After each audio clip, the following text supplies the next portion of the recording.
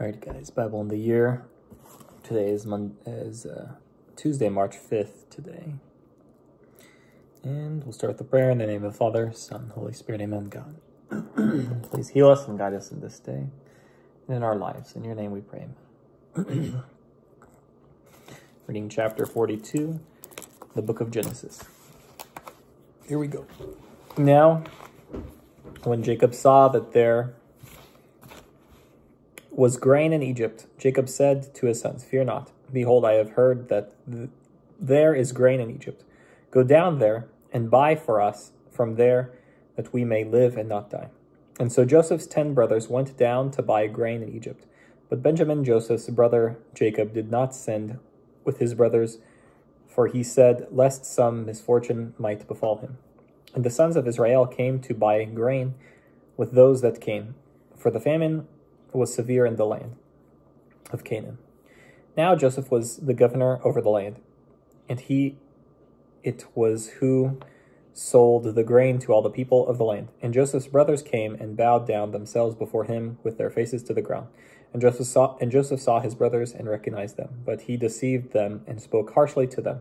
And he said to them, Where have you come from? And they said, We came from the land of Canaan to buy grain. And Joseph recognized his brothers, but they did not recognize him.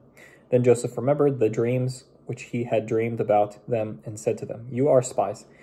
You have come to get a report about the land. And they said to him, No, our Lord, but to buy grain your servants have come. We are all one man's sons. We are pious men. Your servants are not spies. And Joseph said to them, It is not so, but to get a report about the land you have come. And they said to him, Your servants are twelve brothers, the sons of the sons of one man in the land of Canaan. And behold, the youngest is this day with our father, and the one, uh, the youngest is this day with our father, and one is dead. And Joseph said to them, It is just as I said to you, you are spies. By this you shall be proved by the life of Pharaoh. You shall not go forth from this place, except your younger brother comes here. Send one of you, and let him bring your brother, and you shall be bound in prison so that your words may be proved. To see if your statements are true, and if they are not true, by the life of Pharaoh, surely you are spies. And he put them all together in prison for three days. And on the third day, Joseph said to them, Do this and live, for I worship God. If you are pious men, let one of your brothers be bound in your prison, and the rest of you go and carry grain for the fashioned who are in your household. But bring your youngest brother to me so shall your words be verified, and you shall not die. And they did so. And they said to one another, Truly we are guilty concerning our brother. For we saw the anguish of his soul when he pleaded with us. And we would not listen to him. Therefore, is this distress come upon us? And Reuben answered and said to them, Did I not tell you, do not sin against the boy? But you did not listen. So now his blood is required. And they did not know that Joseph understood them, for he spoke to them in, by an interpreter. And he turned aside from them and wept, and he returned to them again and conversed with them, and took Simeon from them and bound him before their eyes. Then Joseph commanded the servants to fill their sacks with wheat and to restore every man's money into his sack and to give them provisions for the journey. And they did so for, for them. And they loaded their asses with their wheat and departed thence.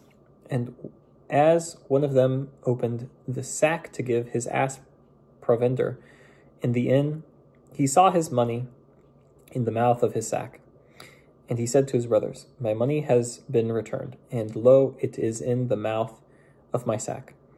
And their hearts failed them, and they were amazed, staring at one another, saying, What is this that God has done to us?